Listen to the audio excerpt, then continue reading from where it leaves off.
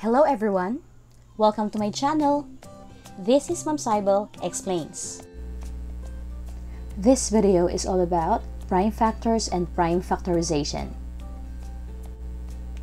We know already about prime numbers and composite numbers, right? But if you're still confused about prime numbers and composite numbers, then I'll be posting that tutorial video in the description box where you can check. Now let's move on to prime factorization. What do we mean by prime factorization? Every composite number can be factored into prime numbers.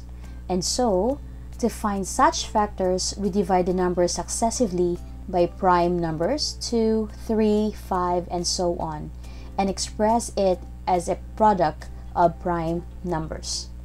Okay, let's have some examples for you to understand how to do that. Let's have 24. We'll be using factor tree in solving this problem. Let's think of the factors of 24. Maybe we can write 6 and then 4. 6 is a composite number, same as through with 4. So let's find factors of 6, that's 3 and 2, and the factors of 4, that's 2 and 2. So we have all here prime numbers we can rewrite these numbers from least to greatest. How many 2's do we have there? Okay, let's rewrite 3 2's. That's 1, 2, and then 3. Then we will write 1, 3. But we can still simplify this by writing the exponential notation of this. So we'll write 2 to the third power because we have 3 2's and then times 3. Our final answer is 2 to the third power times 3. It is easy, right? Okay, let's have another example. Let us have 36. What are the factors of 36? We can write 36 here. That's 6 times 6. 6 is a composite number, so let's find the factors of 6. That's 3 and 2, and then 3 and 2. We can rewrite this by writing the least number first, going to the biggest number. That's 2 times 2 times 3 times 3 we can rewrite using exponential notation. That's 2 to the second power and 3 to the second power. And our final answer is 2 to the second power times 3 to the second power or 2 squared times 3 squared. Next one. We have here 80 we can think of the factors of 80 that's 8 times 10 8 is 4 times 2 and 10 is 5 times 2 but 4 is still a composite number, that's 2 and 2. Next, we can rewrite them from the least to the greatest number. We have 4 2's there, so we can rewrite 1, 2, 3, and 4. Then we have the 5, only one 5. And we can simplify by writing the exponential form of this number, so that's 2 to the 4th times 5.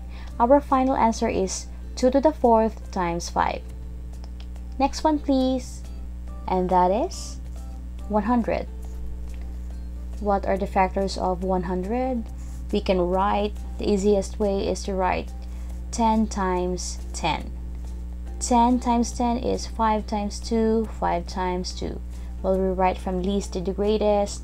We'll have two 2's and two 5's. We can rewrite the exponential notation. That's 2 squared times 5 squared. Our final answer is 2 squared times 5 squared. Okay, the next one is 1200. The easiest factors that I can think of are 12 and 100. 12, that's 6 times 2, and 6 is 3 times 2. 100 is 10 times 10, and 10 5 times 2 and 5 times 2 all we need to do is rewrite them from least to greatest. How many 2's do we have there? That's 2 times 2 times 2 times 2 we have 4 2's and we have 1 3 and then we have 2 5's okay let's do the exponential notation to make it easier. We can write 2 to the fourth power times 3 times 5 squared. Our final answer is 2 to the 4th power times 3 times 5 squared. And we're done. Now, it is your turn to solve. Please write your answer in the comments section. Our question is, give the prime factorization of 300.